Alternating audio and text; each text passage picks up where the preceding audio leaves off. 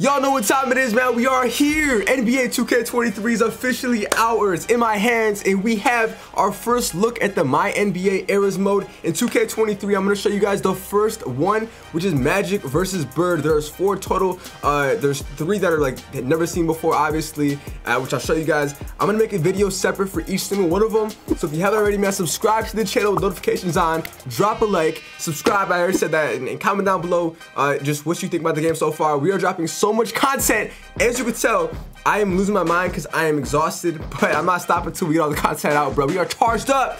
Let's get it. So here is 2K23, the main menu. You can load into my NBA just like normal, but this time when you load into my NBA, you create a slot, uh, like always, and here we go. It takes a second to load in. The moment of truth is it's here. Okay, eras. We have the Magic versus Bird era. There is four total eras. We have the Magic versus Bird. We have the Jordan era, the Kobe era, and the modern era. Now, most people are gonna be using the modern era, but the new ones, of course, are the Magic Bird, Jordan, and Kobe. Today's video, this video in specific, is gonna be focusing on the Magic versus Bird. Later today, I'll probably drop Jordan and then the Kobe as well, followed by that. But here's the Magic versus Bird era. They have a description, ready to experience the biggest rivalry in league history, relive 1983, and then we have this little loading screen when you load it into this specific era, 1980s, man. Comment down below, which era do you think was the best in NBA history? I think 2010s is, is my because I was that's when I watched basketball. So for me, I'm kind of biased. And here is the setup for the association. Um, nothing much really to it, but here's a dope part, man. This is so realistic. There's only 23 teams because in the 1983 season, there's only 23 teams. So obviously, you probably don't see some teams like the Wizards. Um, and some other ones, but everything is so realistic you guys are gonna see in a second. I was shocked, like very, very impressed by the 2K team for this. You can see the teams are accurate. It's not filler players like you would think. These are the accurate rosters. We have, you know, the, uh, if you look at the, the contracts too, the salary, you know, they're making 400K, 350K, not 3.7 million or 30 million. Everything is accurate, um, which is dope. It's little details I love about this game uh, so far, just off the bat, first impression. You know, the Bucks have Sidney Moncrief. Um, keep in mind, like I said, 1983. So, like Jeff Ruland didn't know who he was, and I, like I said, I'm a basketball encyclopedia, and I didn't know who he was, um, because this was like 20 years before I was born. Uh, we have Reggie Theus, who a lot of players you may uh, know from my team. If you play my team, you may be uh, familiar with these players. Like World B. Free, the craziest hairline in NBA history. I can't talk. Larry Bird is a 97 overall. Like I said, this era is the Bird versus Magic, so 97 overall. But he's only making 650K, and Kevin McHale is making 1 million. So I was kind of confused there. Um, then we have Norm Nixon, who he looks familiar. I think he's from the HBO Showtime, the Lakers Showtime show. I think he was on the Lakers. Um, and then we have the Hawks with Dominique Wilkins, a young Dominique. And then uh, Adrian Dantley. I'm just showing you guys the rosters for this specific era. The Kansas City Kings. I forgot, you know, the Kings were in Kansas City before, so that's dope. The detail, uh, the attention to detail is spectacular so far. Bernard King, then the best team, the Lakers. they got Magic Johnson, Kareem, James Worthy, Michael Cooper, Bob McAdoo. They have a really good team. The Mavericks are cool you know, a lot of these players, I, am not gonna, it's, it's, nothing crazy. So I'm gonna show you guys, you know, kind of the main setup of this era, then later hop into some gameplay with, you know, some of the best players from this era, and you guys can see. I, like I said, I'm very impressed. My Pistons right here, my Detroit Pistons, Isiah Thomas is 92 overall, making 750K. We got Laimbeer 87 overall. This is the bad boy Pistons, bro. Not the full team, we don't have Dennis Rodman in them, but uh, with the era mode, you can progress as you go through the seasons. Things will change uh, because that's how the mode is set up. The Suns are a decent team, 94 overall. The Supersonics have Jack Sikma, David Thompson. Uh, the Trailblazers have some some good some good players. A young Clyde Drexler. Everything is so accurate, and it, it, it's dope to see. I know the, the, the My NBA, the My League players are gonna love this mode. It's fresh. So I selected the Pistons. I'm gonna select them for this video just to kind of run through. And here are some of the major changes happening in this era. So there's gonna be five teams that are being added, or four actually. The Hornets, Heat, Magic, and Timberwolves. And then there's more physical play and hand checking is allowed. So I said this in the previous video, it, it, does get more physical and they won't cause many fouls. There's the vintage 80s era presentation with the simple overlays. And then down below it says some teams that are added. And then it says zone defense is banned which I think is capped because I'll show you guys later in this gameplay. I changed it to a 2-3 zone and it let me. So I don't know if it's how accurate that statement is, but you know, the whole gist of it is dope. They're going for the authentic feel of the 1980s era. Can't complain. I get to use a 1984 draft class right here, and they, ha they have it all accurate. And here is uh, the, the, the, user interface, the AI, the, the UI. We have Isiah Thomas, all our players, Bill Laimbeer, the cyber faces, the face scans are very nice, which I could really appreciate. 2K took the time with this one, you could tell. And uh, the first thing I did, you know, me being curious, I wanted to see could I get away with trades right away? The reason I did that is because you got you got to think in the 1980s, players usually stood uh, stayed with the same team for most of the time. They're not you know all over the place. So I wanted to see if they would let me just make trades right away. For Laimbeer, I was able to get some decent offers, um, so it's not like you're, you're locked onto a team. Also, look at the expenses for player payroll. It's 4.183 million meaning everything is accurate because back then that was a player uh, payroll. Now it's probably like you know 200 million. What else do we have? We have scouting. We got prospect scouting, the 1984 draft class with Michael Jordan, Hakeem Olajuwon, John Stockton. You know all of them, um, which, which is pretty dope. You know they got all that already set up for this era. Now the first gameplay is gonna be Pistons versus the Celtics, and you can only have the two uniforms, bro they really make this accurate. You can't have like the, the you know association, the, the current ones. It's only classic. And we are back with the presentation style of the 80s. Now there is one issue, not an issue, but like one thing I would prefer that you could have, which I'll mention right about now. You can't turn off the filter. In the Jordan challenges, you could turn off the retro filter so it's not grainy like this. My eyes can only take it for so long. Um, but you know, it's it, it's part of the mode. It makes it realistic. It makes it authentic. So I just wish you could turn it off if you wanted to. Um, but it's no big deal. Now we are here starting off on offense with my Pistons in the Palace Auburn Hills. Call for a pick and roll. I'm trying to play smooth. You know, I'm not trying to force anything. All the gameplay that I'm gonna be posting is gonna be on all-star difficulty. So I changed it to be more difficult, all-star difficulty.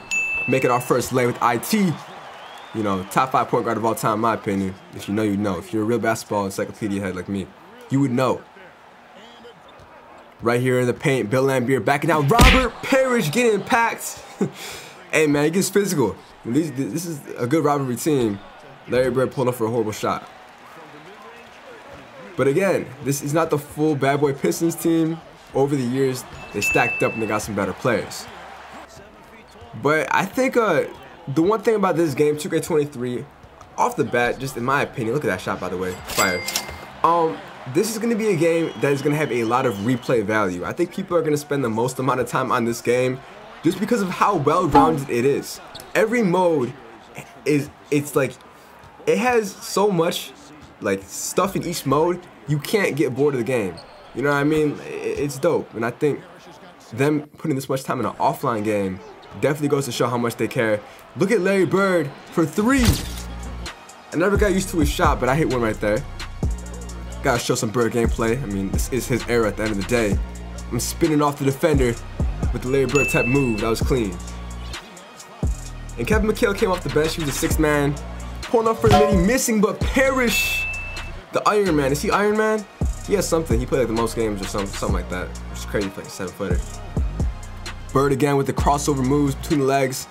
I'm trying to be smooth, but I can't get nothing to happen. Pulling up contested. It was a bad shot. I miss it. Then Isiah Thomas pulling up for the midi. Clean shot by him. So like I said, I'm to have gameplay for uh, multiple teams, not just this, this game. Um, I'm to show you guys some of the best players from this era. If you are enjoying this video, do me a favor, man. Drop a like, subscribe to the channel. We're to have more content. As soon as my career, the servers are on, I'll be posting it. Now we're moving forward to the Hawks and Dominique Wilkins, a young Dominique. I'm going to the paint and look at this dunk. Going baseline, man, slamming it down. Hanging on the rim for dramatic effect. Now I'm sending some pressure, double teaming. And getting the foul call. Back again on defense. Isiah Thomas going to the paint with the floater. He misses it. Spud Webb wasn't on this team. I looked for him, but he wasn't. Hold on, Dominique! Slamming it down again He charged up, baby. But yeah, I'm excited for this my career mode. And look, you can't spam go in the paint. That's my third time in a row, and I finally got stripped. as it should be. The, the, the CPU adjusted, the AI learned um, after the first two times. That guy's wide open, and he hit it. Next up, we have the Philadelphia 76ers.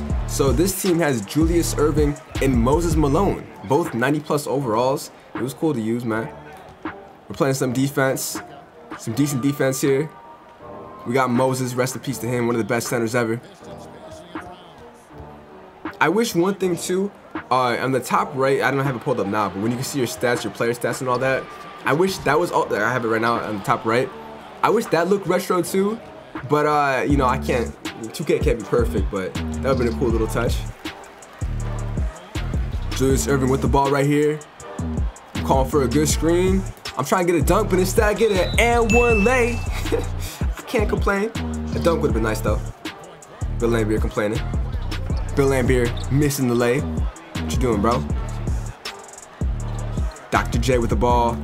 I wanted to get a signature layup, but instead I'm calling for a pick and roll. Moses setting a good screen, and I have no stamina, so I'm gonna pass it off, and I'm gonna slam it down. Look at that standing dunk animation. That, that was beautiful, bro. That's a great standing dunk animation. It was powerful. Next up, we have the San Antonio Spurs, who have George Gervin, the Iceman. I want to get some clean lays, some clean animations. So I'm going in, and I'm fading for the midi, and that's money.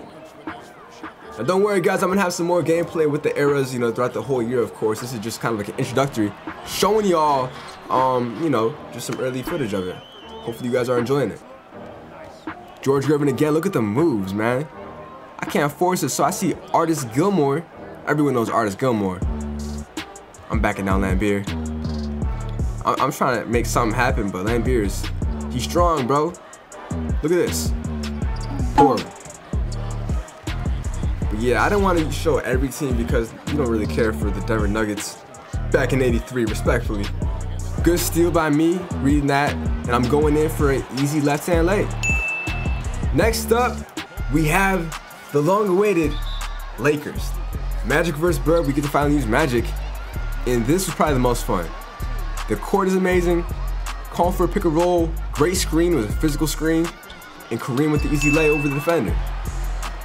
Now this right here was a great matchup because I mean in real life they were they were competing all the time. They're some of the two best teams in the, in, uh, or in, in the finals.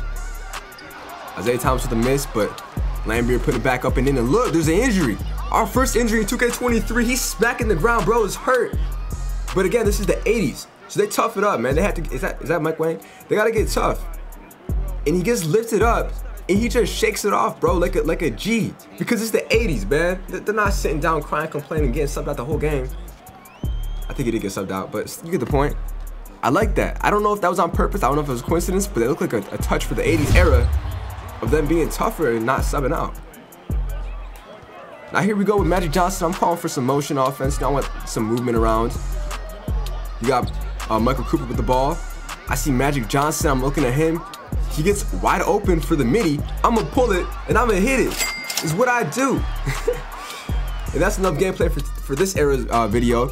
I have some more gameplay with the Jordan era next up. And the MVP is Larry Bird, averaging 28 points, 8 and 8. Then we have Ralph Sampson as Rookie of the Year. I don't know if, if he was Rookie of the Year in real life, but that's, you know, checks out. Defense Player of the Year, he was really good. Coach of the Year, K.C. Jones, former Celtics player. And my Pistons ended up getting the best record, or one of the best records, but nobody from the Pistons was in the All NBA first team, which is wild, or the second team, or the third team. Disrespectful. I don't get it. But uh, the Pistons ended up getting second, I believe. Yeah, we got second in the entire Eastern Conference. So I simulated the playoffs. Here's how it looks for the playoff tree. I simulated it. It simulated really fast, and we got eliminated in the Eastern Conference Finals by the Celtics, who won the championship and of course, Larry Legend, averaging 31 points per game. He had himself a nice finals. And uh, yeah, that's about it, man. You know, he got an offer for 245k. It, it, it, was dope. This is my first time playing the full version of the game. It was super dope. Hopefully you guys enjoyed it. We're gonna have more eras gameplay, like I said today. My career gameplay, everything, bro. So if you haven't already, drop a like, subscribe to the channel. I'll catch y'all later, man. Peace.